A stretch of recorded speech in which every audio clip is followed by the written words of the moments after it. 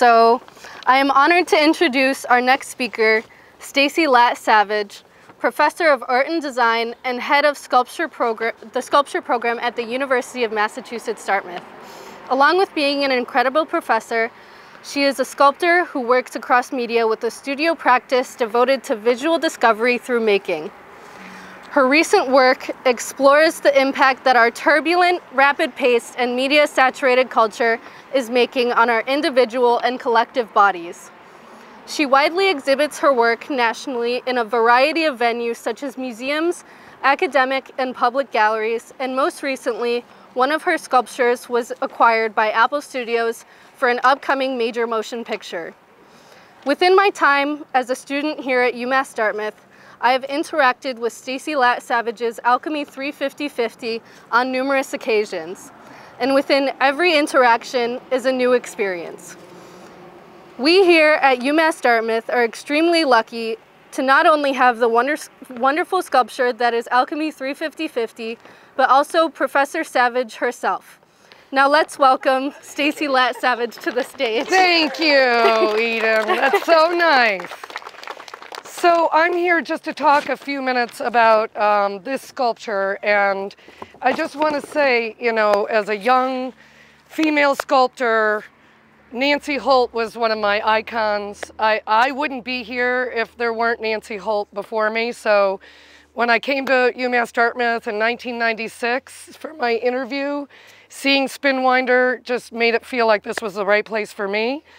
It is daunting to have a sculpture so close to such an icon, but I will say, um, knowing her work so well and being such an admirer, a lot of what's happening here is um, in homage to her work, but also to the campus overall. It's, it's like Nancy Holt to Paul Rudolph, you know, me to her, us all to divine proportion. And I'll talk about that a little bit more in the Golden Spiral, but it's, um, this is intended, uh, this entire site was intended at the entrance to be a welcoming place for the residents of Dartmouth to come and gather and meet just like you're doing now uh, and have a sort of starting place on campus.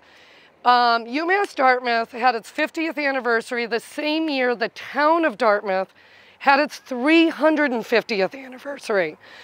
So I was commissioned by the town of Dartmouth to create a sculpture that would signify that union, but also talk about, like um, Andy Schnitzer was talking about the uh, memorial or monument to the history of place. So this is genuinely the strangest project I've ever worked on. And I'll tell you, it's because literally the material of this sculpture is what has created this whole experience. So I'll tell you a story. Every bit of this steel with some add-ons comes from two major monuments in Dartmouth that were destroyed. There was, uh, do any of you remember the radome in South Dartmouth? A giant radome satellite tower in South Dartmouth. It was a, um, a nautical landmark. It was on Hetty Green's son's um, estate, 240 acre estate. And so it was this giant, like monument in Dartmouth that everybody knew about. But a young couple bought the property in 2008. They blew it up. So everybody in Dartmouth was absolutely stunned by this.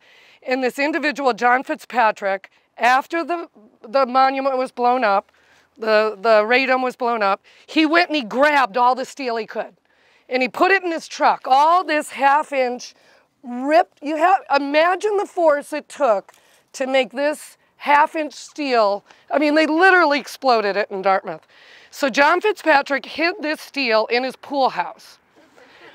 Now, years earlier, another strange individual from Jay Williams from um, Dartmouth, he was in love with Lincoln Park. Do any of you know about Lincoln Park?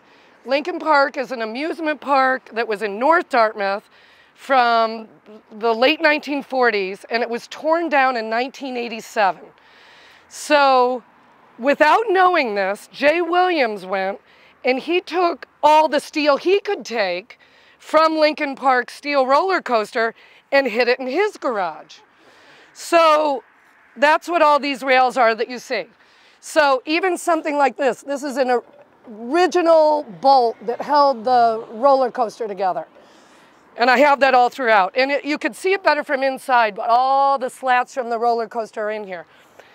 So the town of Dartmouth and, and Laura Stone really wanted me to work on this piece. So they dumped a pile of scrap junk steel on the deck over in sculpture and said, what can you make of it?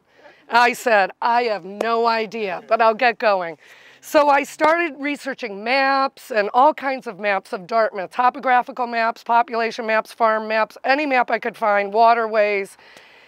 And I found out that UMass Dartmouth is really in the nexus of this town. It is the begin, it is the central element.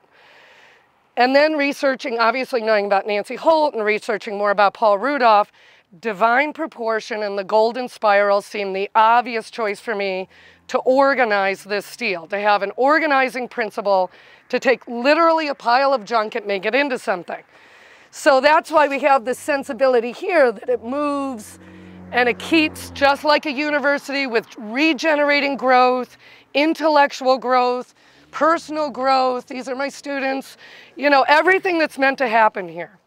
So that became my organizing principle. But what ended up happening was I got really interested in the oral histories of these 350 years of Dartmouth.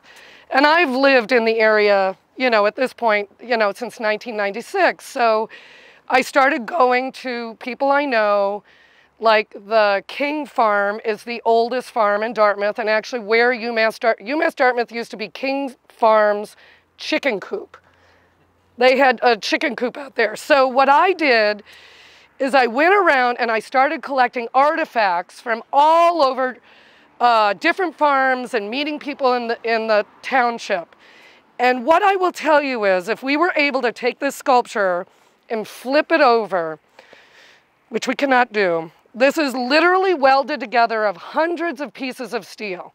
There are 300 year old shovels in here. There is a sickle. There are artifacts from farm equipment, all welded together and ground seamless to appear as if it's a, a, uh, a nautilus or like you are all sitting like a campfire, something of that nature. And I will say that um, this pathway, getting off the path, is very much in line with Paul Rudolph's pedestrian campus concept, but it's also meant to be part of the bike path that they're creating from Provincetown to Providence. So this walkway is part of that. And um, so that's, that's the, the short version of the story of the sculpture, but like Nancy Holt, embedded within the sculpture itself is, are the artifacts of history and our culture. So.